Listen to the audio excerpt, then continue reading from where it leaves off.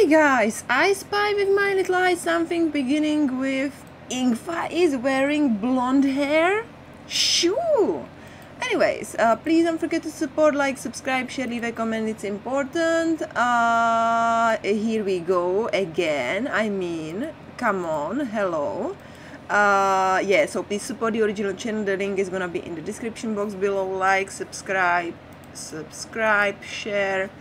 comment, share, comment. Okay, we are good to go. Anyone here wanting to explain to me why does she ha- is wearing currently blonde hair? Thank you. Since when และกร as รมการ well? ท่านต่อมาครับ Okay. Miss Grand Thailand 2022 อิงฟ้าวราหา I'm so unused to this. และคณะกรรมการอีกหนึ่งท่านครับ ขอเสียงปรบมือต้อนรับ ชาร์ลอสออสตินรองอันดับ5 Miss Grand Thailand 2022 ครับ Oh my shoot. เอาละครับ Lord และก่อน English ที่เรา for the จะเข้าสู่ audience สำหรับช่วงต่อไปกันนั้นนะครับ ผมอยากจะพูดคุยกับคณะกรรมการของเราเหลือเกินนะครับ อิงฟ้าครับ ชาลอตครับ ด้านนี้ครับผม สวัสดีค่ะ สวัสดีค่ะ ครับผม โอ้โห พี่เห็นโพสต์ลงโซเชียลตั้งแต่เมื่อวานจนวันนี้ แม้กระทั่งก่อนจะมางานหนูเครียดมากเลยในการเตรียมชุดเข้ากับทีมวันนี้ หนูช่วยบอกอีกทีได้ไหมครับว่าวันนี้หนูมาในทีมอะไรครับอิงฟ้าคราวที่แล้วเรามาทีมอวตารค่ะพี่แชมป์วันนี้ก็เลยเขาบอกว่าทีมสี Okay. เขียวฟ้าอ่าก็เลยอยากมาเป็นโอเอลเคซ่าอ่าใช่มีหน้าล่ะผมเปลี่ยนสีเลยนะครับ จะได้ไม่เบื่อจะได้ไม่เบื่อเพราะเดี๋ยวยังมีอีกหลายจังหวัดเลยค่ะพี่แชมป์ครับผมอ่าแล้วด้านข้างเราคู่ของเราล่ะ มาในทีมอะไรครับ วันนี้ถูกธีมนะคะ สีฟ้าเขียวก็ถ้าพี่ฟ้าเป็นเอลซ่างั้นหนูเป็นแอนนาก็ได้ค่ะ อ่า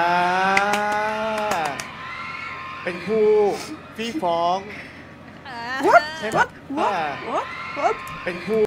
Something between Fayan, boyfriend, girlfriend, and Pinong, sister, brother. คู่ Okay. พี่ฟ้อง ใช่ไหม ค่ะ ครับผมอะ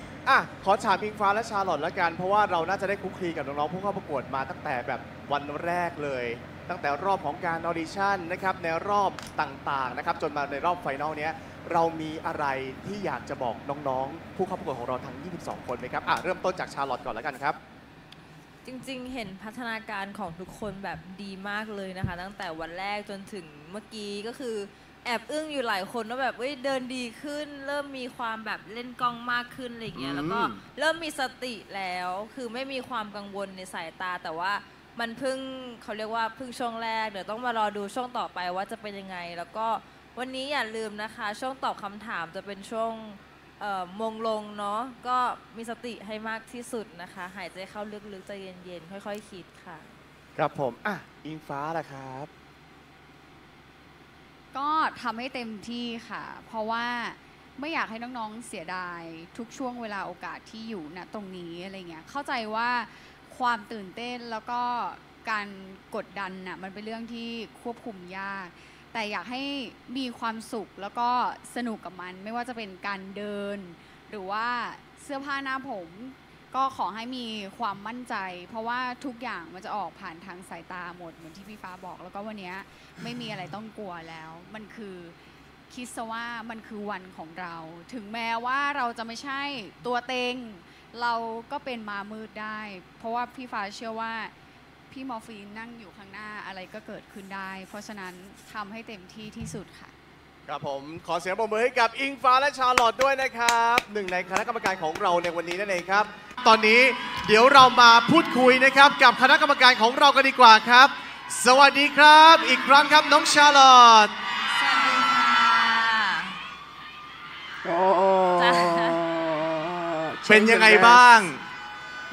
ใกล้เข้ามาทุกทีแล้วตอนนี้จาก 22 เหลือ 12 มาจนเหลือ 5 คนสุดท้ายครับ เอ่อแอบตื่นเต้นแทนน้องๆค่ะ แล้วก็คือนั่งอยู่ก็คือเดาไม่ออกเลยว่าใครจะได้เป็นผู้ครอบครองมงกุฎมิสแกรนกรุงเทพมหานครปี 2024 นะคะ แต่ว่าเชื่อว่าทุกคนมีสติ แล้วก็มีศักยภาพมากพอที่จะมาเป็นตัวแทนค่ะ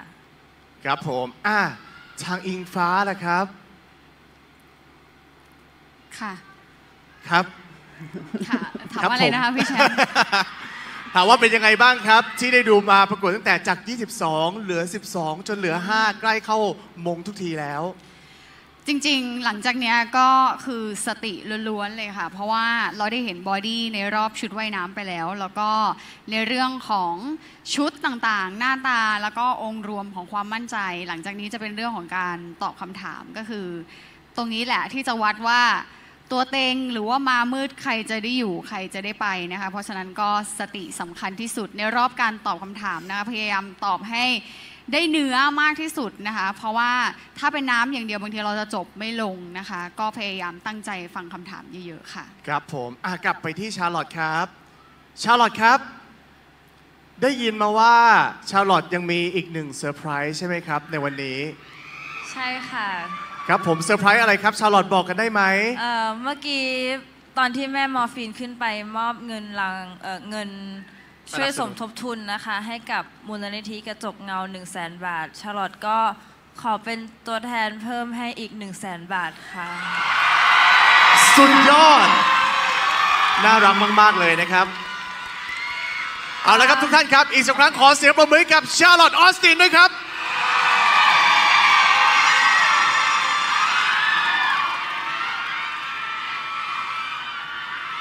และต่อไปครับขอเชิญทุกท่านพบกับชาร์ลอตออสเอ็นรองอันดับ5มิสแกรนด์ไทยแลนด์ 2022 ครับ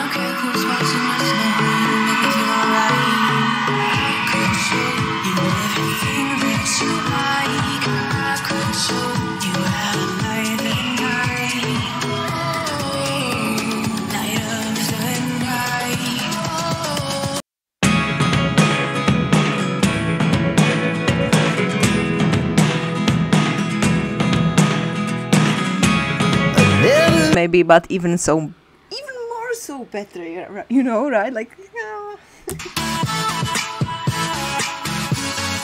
because i have seen this part.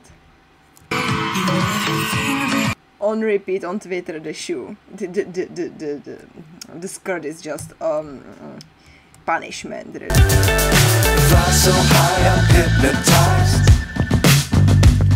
What's up is down, what's left is right. Chasing stars and holding you. I can't see the end, but we'll see it through.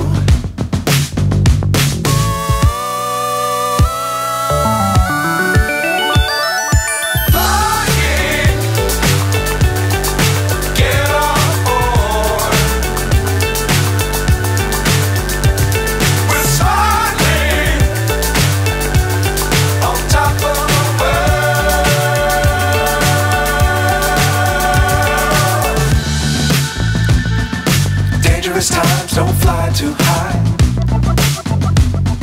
Be sure to keep the ground in sight. Fly forever if you keep it tight. Love the world, but keep the sky on your mind. How, how slowly she's forced to walk. Charlotte was probably too quick because that is why that happened for the type of dress, but she like sailed it so smoothly. While Charlotte, um, Charlotte, while Inkfa is really careful about how she's walking, and you can just see it, right? But wow, impressive.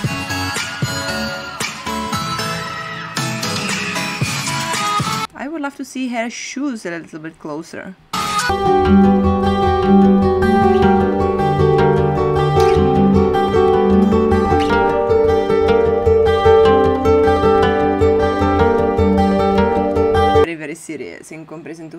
Other.